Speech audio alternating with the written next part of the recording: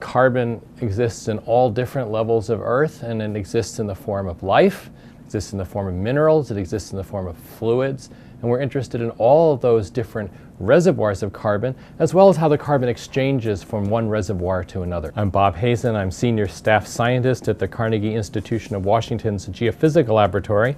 I'm also Executive Director of the Deep Carbon Observatory.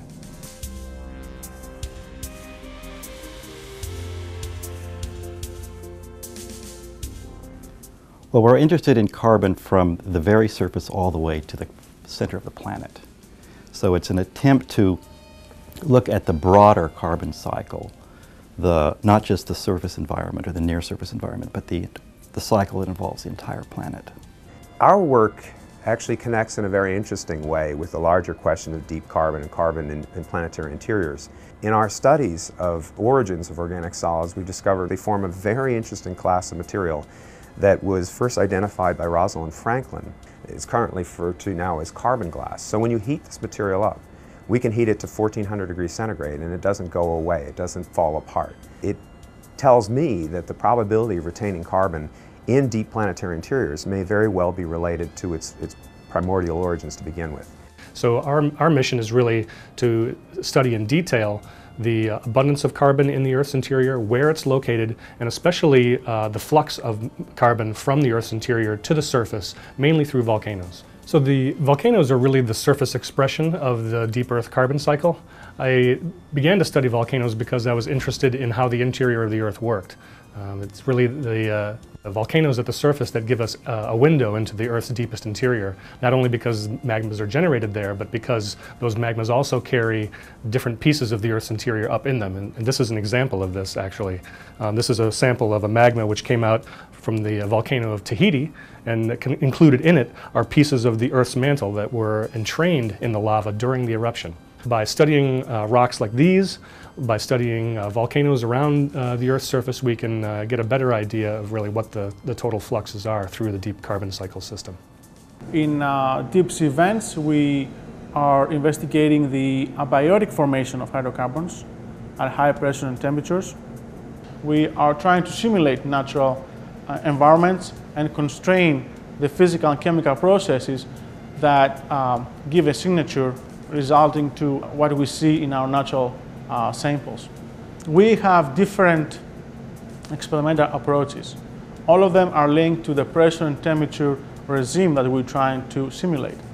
So for deep sea hydrothermal vents, we're having batch and flow-through reactors, which allow us to go to pressures up to 500 atmospheres and temperatures up to 400 degrees C Celsius. Much of my research involves thinking about how carbon and carbon-based molecules played a role in life's origin. This would have been three and a half billion years ago. And that was a chemical process that involved concentrating, selecting organic molecules from a very dilute prebiotic soup, the ancient ocean. Our hypothesis is this may have happened on mineral surfaces.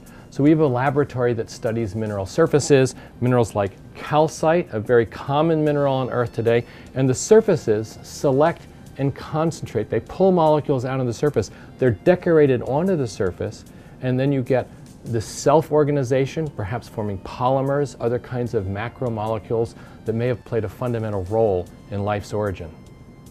My specific interest is in the formation of diamonds, and diamonds are the flagship deep carbon mineral on the Earth. It's hard for people to understand how, how deep these diamonds come from. Some diamonds that we see in the crust, what we call crustal diamonds, are, are actually exposed at the surface. But the diamonds that we call uh, normal diamonds that I found in, in, in, jewelry and rings come from about 150 to 170, even maybe 180 kilometers deep within the lithosphere. They're brought up specially by eruptions of a, of a high um, a very explosive magma called a kimberlite, transported to the surface uh, uh, almost instantaneously geologically by these uh, explosive eruptions. I do primarily high pressure experiments using diamond anvil cells where I use carbon as the anvil in a diamond to generate high pressures and temperatures and then study the materials in those apparatus.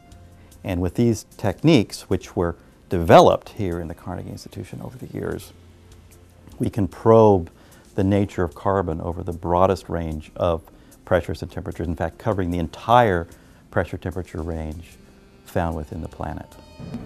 The basic th thrust of my research is to come up with a, a, way of being able to find life on other planets, so particularly Mars.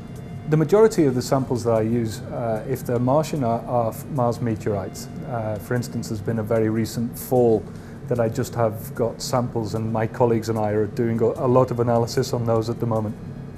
Uh, the other, I, I go to the Arctic, uh, the high Arctic to a, uh, an island called Svalbard, where there's a lot of unusual geology that's very similar to, to Mars uh, in, in some ways.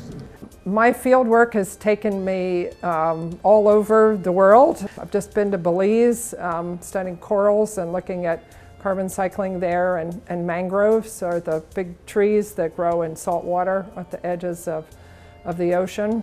So this summer I was up in uh, northern Quebec in the middle of Hudson Bay to the Belcher Islands. That's where all these plants that are on the table came from.